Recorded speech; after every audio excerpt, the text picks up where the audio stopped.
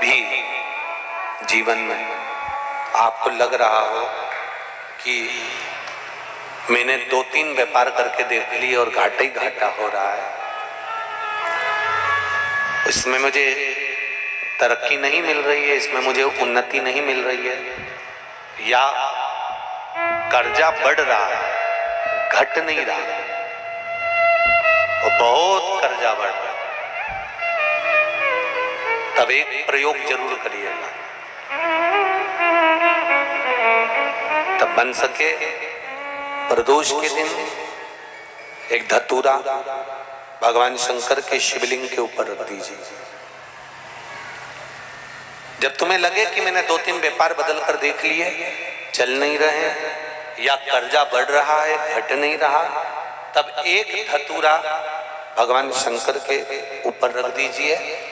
धतूरा रखने का एक नियम होता है। धतूरे की जो डंडी होती है, देखिए छोटी सी डंडी होती है धतूरे में, वो डंडी धतूरे की आप जहाँ बैठे हो, उससे विपरीत होना चाहिए।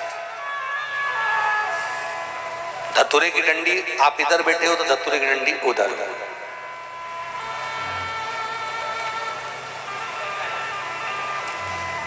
अपने को लग रहा है कि व्यापार मैंने बदल लिया, दो बार, चार बार, छह बार व्यापार बदल के देख लिया और कर्जा बढ़ रहा है, पर व्यापार भी नहीं चल रहा। फैक्ट्री डाली, वो भी चल बंद हो गई। दुकान डाली, वो भी बंद हो गई। कुछ काम करा, वो भी बंद हो गया।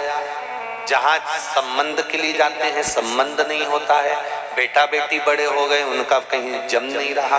बहुत प्रयास करके देख लिया, पर हो नहीं रहा। तो प्रदोष के दिन, धतूरे को रखिए, पर डंडी विपरीत दिशा की ओर हो और एक लोटा जल धीरे धीरे उसी धतूरे के ऊपर आप चढ़ाना प्रारंभ कर दीजिए जो शिवलिंग के ऊपर रखा हुआ